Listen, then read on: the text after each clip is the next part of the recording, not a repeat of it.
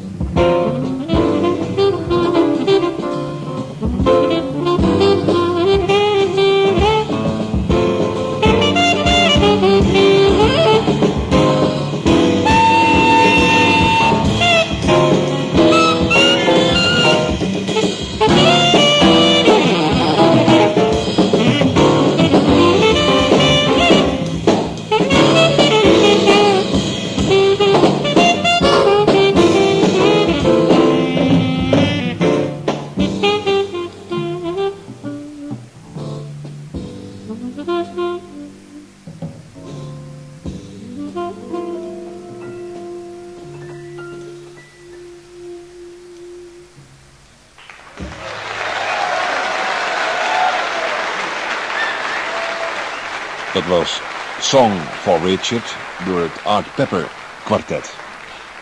Voor de volledigheid moet nog even vermeld worden dat de geluidsopnamen door de firma Phonogram gemaakt zijn. De NOS kon helaas geen uh, faciliteiten beschikbaar stellen. We gaan verder met uh, Art Pepper met zijn kwartet. En het volgende stuk heet Cherokee.